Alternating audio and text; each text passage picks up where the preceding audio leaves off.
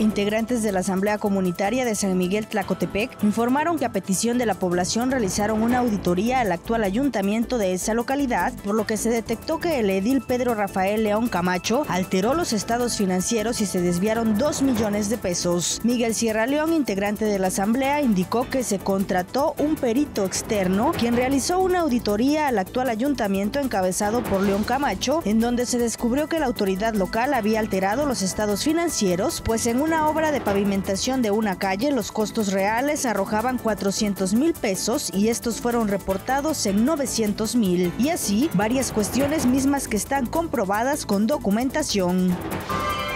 En Magdalena, Tequisistlán, pobladores bloquearon ayer el crucero de la carretera panamericana con la entrada a esa comunidad. Lo hicieron para exigir al presidente municipal, Freddy Javier Arias Plata, la destitución del jefe de seguridad pública, Roosevelt Mendoza Pérez, por supuesto abuso de autoridad.